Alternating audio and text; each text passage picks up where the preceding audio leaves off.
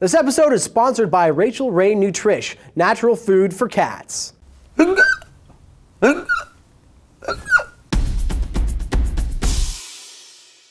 Hey, what's up guys? I'm Alex Farnham and this is Animalist News. Did you know that dogs get the hiccups just like me and you? There is a video trending this week on YouTube with an adorable corgi puppy stuck with the case of hiccups. Now, according to howstuffworks.com, believe it or not, hiccups can sometimes be good for your dog. So before we go any further, if your dog is having any hiccups, don't worry, everything's chill, dude. They can actually help with relieving stomach aches and gassiness. Now normally puppies hiccup the most when eating or drinking too fast, but then they grow out of it. You know when they're gobbling all that food down, sometimes they gobble some extra air. Either that or their diet needs to be changed because obviously their stomach isn't agreeing with what you're feeding them. Even emotions can trigger a dog's hiccups, like if they're stressed out or too tired. There's even a thing called reverse hiccups, like when your dog gets all excited and starts breathing really loud through his nose frequently. But if they reverse hiccup often,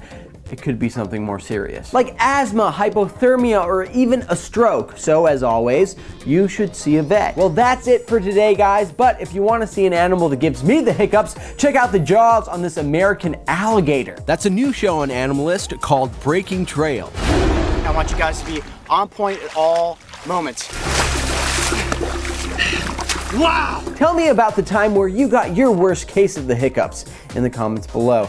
Don't forget to share this with your friends, subscribe, and I'll see you hairy mammals next time. Thanks again to Rachael Ray Nutrish for sponsoring this episode.